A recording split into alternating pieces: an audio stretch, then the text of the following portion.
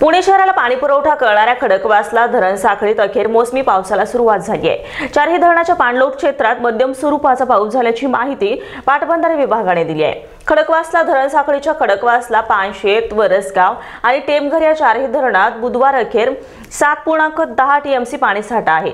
आणि मागील वर्षी याच कालावधीत हे प्रमाण सहा पूर्णांक पंचावन्न टीएमसी होते.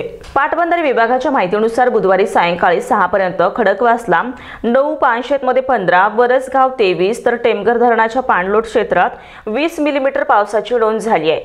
तर आज अखेर टेमघर नऊ वरसगाव धरणात अठरा पाचशे तेहतीस टक्के तर खडकवास खडकवासला धरणात बेचाळीस टक्के पाणीसाठा आहे. शहरात मोसमी पावसाने गेले दोन दिवस काहीशी विश्रांती घेतली होती. त्यानंतर बुधवारी मान्सून पुन्हा सक्रिय झालाय. शहरात दिवसभर पावसाची संततधार सुरू होती. कात्रज सिंहगड रस्ता सातारा रस्ता धायरी खडकवासला मध्यवर्ती पेठा हडपसर कोथरूड बानेर पाषाण शिवाजीनगर एरोडा अशा सर्वच भागामध्ये पावसाची रिपरिप सुरू होती. शिवाजीनगर येथे दिवसभरात तीन पूर्णांक दोन तर लोहगाव दोन कात्रज आंबेगाव अकरा पूर्णांक दोन खडकवासला पाच वारजे सहा पूर्णांक चार कोथरूड दोन पूर्णांक आठ मिलीमीटर पावसाची नोंद झाली आहे. Bureau report star Maharashtra news Pune.